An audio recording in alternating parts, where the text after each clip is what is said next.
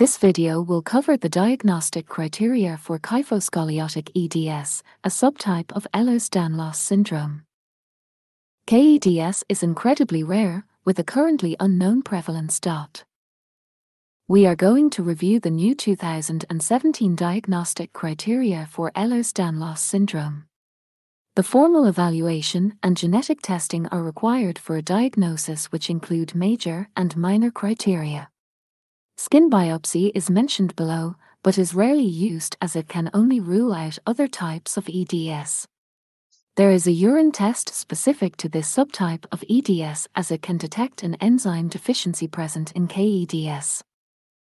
Major criteria include hypermobility, dislocations, severe congenital muscle hypotonia, delayed motor development, and kyphoscoliosis, which is the presence of kyphosis and scoliosis. These are spine abnormalities which can be seen in the photo on the right. Muscle hypotonia is decreased muscle tone. Hypermobility is evaluated by the Beighton scale which will be discussed in another video. It is essentially having pathogenic flexibility of the joints, allowing them to have a higher than normal range of motion.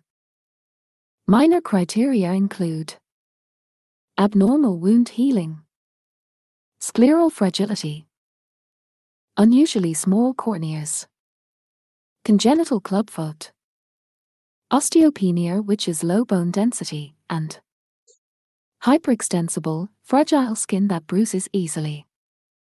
The sclera is the part of the eye that is white, and the cornea is the outer layer of the eye. The final minor criteria include Marfanoid habitus which consists of long limbs, arachnodactyly, and pectus excavatum or carinatum. Arachnodactyly is long, slender fingers.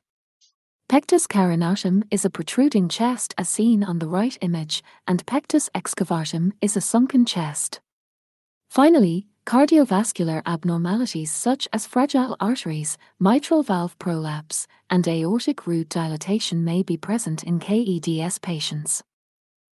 KEDS is inherited in an autosomal recessive pattern meaning a child needs both genes to get KEDS. Therefore, with two carrier parents there is a 25% chance of passing on KEDS. There are two gene mutations that can lead to KEDS.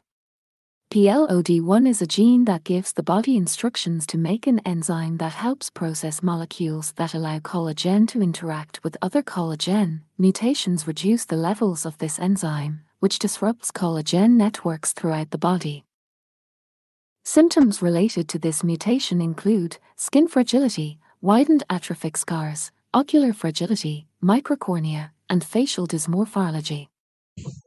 The FKBP14 gene encodes a protein that is part of the FK506 binding protein family of peptidylprolyl CIS trans isomerases. This protein is found in the endoplasmic reticulum lumen, where it is thought to accelerate protein folding.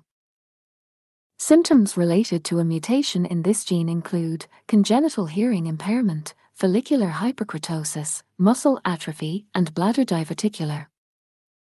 This is the end of the diagnostic criteria for KEDS. Please click the like and subscribe button if you'd like to learn more about Ehlers-Danlos syndrome and other rare conditions. You can also follow me on Instagram for more regular posts at chronic.care. Thanks for watching. Stay rare.